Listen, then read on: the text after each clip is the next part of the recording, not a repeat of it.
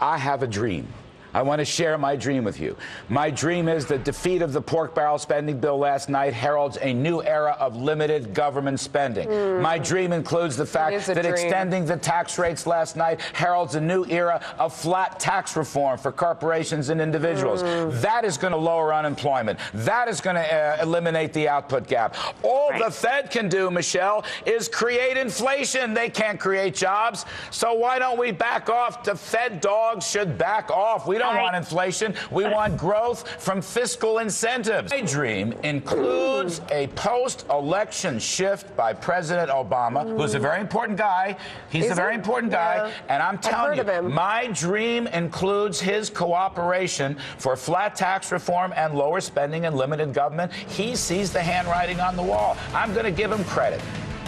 Steve Rizzuto.